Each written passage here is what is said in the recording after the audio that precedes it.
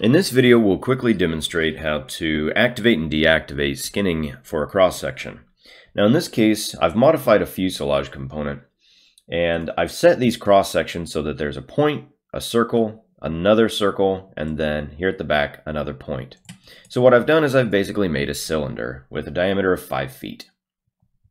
Under the skinning tab, you can see that I've turned on all symmetric, but I've deselected set on both sides so now it's automatically solving whatever angles and strengths that it needs to go from a point to a circle to a circle and back down to a point. So we see cross section one is there, zero, minus 90 on the other side, and minus 90 at that point to solve everything. So if I were to come back and start adjusting some of these cross section locations, say here, come back to skinning, notice that it's automatically solving the angles that it needs to make this happen. If we want to adjust those or turn control back on, simply click set, and now we can adjust these angles how we want.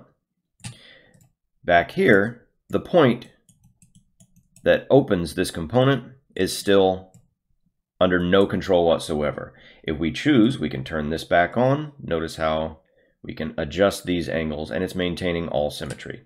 Turn it back off, come back here, turn it back off, and it snaps back to a point. So if you're looking for something that has no skinning controller, you want a direct linear loft between one cross section to another, you are welcome to deactivate skinning entirely, and that's the way that you can accomplish that. So in this case, if you want to make something like a pipe, a cylinder, even say a hollow tube, you can turn skinning off completely, place your cross sections where you need them, and you'll have a very simple but easily modifiable component.